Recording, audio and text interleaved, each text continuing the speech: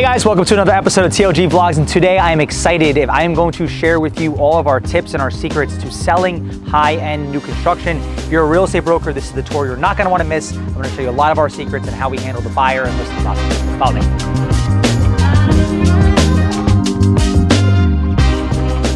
A very overlooked part of the process is definitely understanding the construction in general, where it's at, right? So a lot of real estate brokers aren't weekly or even daily in most scenarios walking through their sites to have an idea of like the construction timeline. Why that's important is when a client's calling you, number one, you wanna know how far the project's along so you could articulate properly, you know, realistic timelines. But number two, when showing you, is it a good time to show? For example, we're putting down floors here today. This might not be the best time to show because we're getting in their way, right? So things like that, understanding the construction process, talking to your developers, is just a really little tip, but kind of goes, you know, a big, a big part of the process.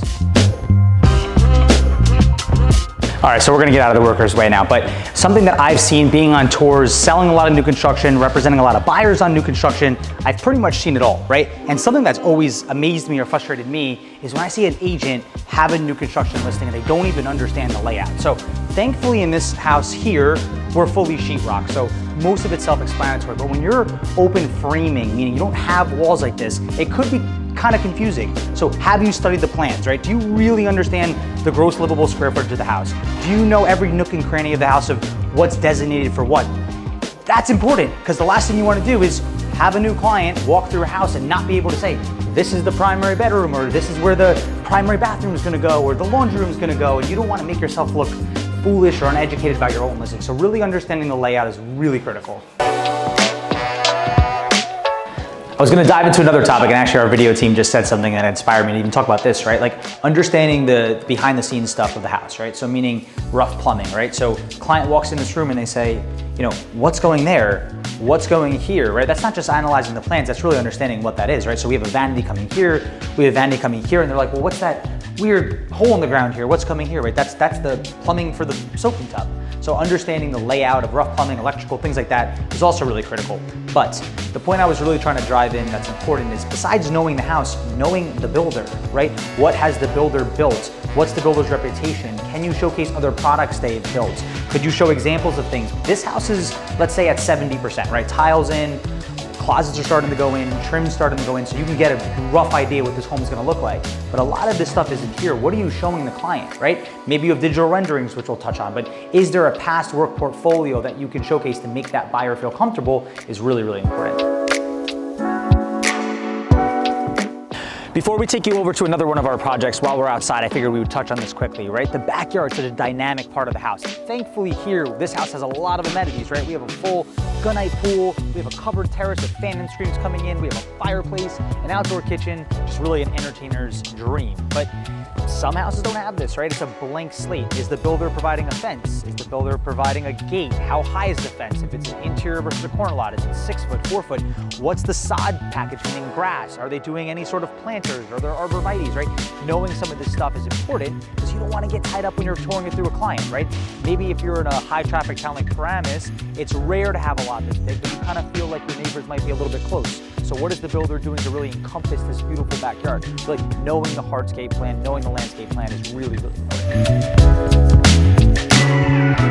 All right, so we're sitting in a little traffic. We're making our way over to the other project, but just some frequently asked questions that I've came across, which I could certainly almost promise you you're gonna come across, especially when selling new construction, right? A super common one is always, what are the property taxes gonna be? Knowing your town's tax rate and equalization ratio is really important, right? You don't wanna misquote somebody or you know, guesstimate that it's going to be, you know, whatever it could be and the tax bill comes in in a year and it's $15,000, $20,000 more than you quoted them. That won't be a great conversation to have, right? What warranties are coming with the house? In New Jersey, if it's a brand new foundation, you're getting a 10 year warranty on that. But what are the secondary warranties? Are there, you know, any builder warranties on settlement, etc.? That's important to know. Um, budgeting, right? If mirrors or lighting, you know, haven't been ordered yet or still could, you know, have selections, what is the budget? How does that work? Do I get selections maybe on countertops or tile if that's not in? Things you should know, especially if it's early on in the process. Um, probably one of the more common things I hear a lot from clients are, what assurance do I have that the builder is going to deliver what they're showing me, right? If the house isn't as progressed as the one that we were just in, and you're showing me these gorgeous photos of other houses, what what assurance do I have as a buyer that you're going to deliver me comparable quality tile or you know that exact tile, right? Things you should be prepared to answer. Actually, one of my builders is calling me right now. Can't even make this up. I'm going over to his house. Um, I'll send him the voicemail for now don't kill me, Ron. Um, but yeah, just having a grasp of your full project is important because you want to be the most educated one there because your client, especially if they're looking at this product and it's expensive product, are going to have a lot of questions and being prepared is really important. All right, so we're driving to the other project and I actually got inspired. So I did a little bit of a U-turn here to give you guys a story because I think this is actually pretty interesting. So this house right behind us, you can see we did the mark out coming here. This house is getting knocked down. We haven't even started, meaning we just submitted for demo permit.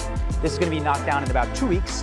And I have pre-sold this house already, meaning a buyer is in contract to close on this house. And you might say, how did you do that? And I'm gonna show you. And the most interesting thing is there's a brand new house across the street that's being built, which is also another beautiful house. But we sold this one before that was sold, right? And it's about knowing your market, it's about knowing the product. I'm gonna share how we did that. So come follow me really quickly. I had a set of buyers that I was working with that I knew had a certain following to a certain builder, and I knew they were looking for a certain location and they wanted a certain lot size. This house offered the full package. So when we go over to the other house that we pre-sold, which I'll show you in a minute, I was able to use that as like a showcase product to showcase how this, what you're seeing here, which most buyers would look at this and not have any understanding of what's gonna come, and teach them and show them that we're gonna put that same house here. Why I wanna extend the conversation a little bit further is the other house we were at you saw, right? The beautiful pools area, that great covered terrace, the fireplace is coming in, it's gorgeous. But imagine trying to convince somebody that this backyard here could be something comparable, right? That you could also have a gorgeous pool here. We're gonna have brand new landscaping. You could see this lot, the topography is a little bit elevated, right? I mean, it dips down on one end and higher here.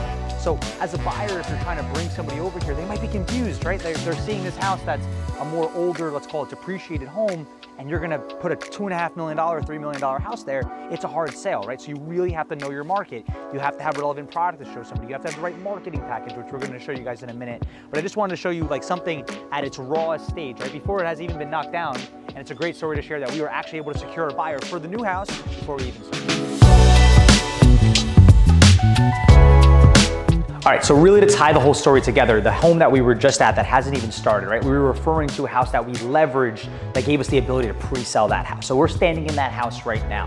But really what makes the difference is the marketing package you're putting together. So I'm gonna showcase on the screen some websites and things that we've created. This is digital renderings that we create for the homes. This is schematic floor plans that we're creating for our properties. This is full property spec sheets and descriptions, right? This is giving the buyer the look into the future of what the product's gonna look like. But for that prior example, knowing that my client client and I had this home that was on a similar lot in a similar location, we could pretty much, I don't wanna say copy and paste, but we could replicate this house to that client's liking on that lot. So this really gave us the ability, although there's really not much here, right? We just started sheetrock. The client got idea of the layout. We got them comfortable with the builder's past work. We were able to really drive in the information that person was looking for and we were able to pre-sell that house before it even started, which is amazing. So the moral of the story is know your market, know the product, know, you know, what your client's needs are and what they're looking for. And a lot of this business is kind of putting all the pieces together, right? It's it's making things fit. It's creating opportunities, and that is just really the difference maker when selling to construction. And thank you guys for touring with us today. If you found this information valuable, if you're looking to see more stuff, more information like this, more tours, hit the like button, hit the subscribe button. I'll see you guys next week.